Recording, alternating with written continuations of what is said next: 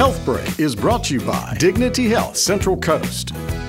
Do you ever feel like your heart is racing? You're fatigued and out of breath? Well, the good news is that French Hospital Medical Center is now home to San Luis Obispo County's only electrophysiology program. Electrophysiologist Dr. Chris Porterfield explains. We are the heart rhythm specialists, uh, so we deal with fast and slow heart rhythms, trying to identify what the rhythm is, what the abnormalities are, and then decide what would be the best next step because we can do a lot of different things uh, with both catheter ablation or medical therapy.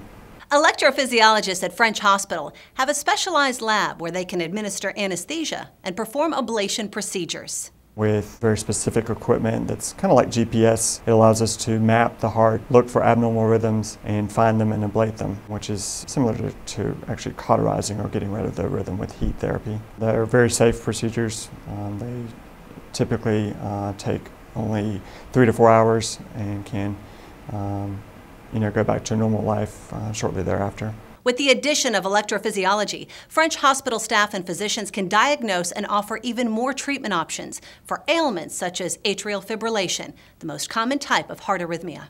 It's just a very cool field. For more information, just visit dignityhealth.org slash central coast.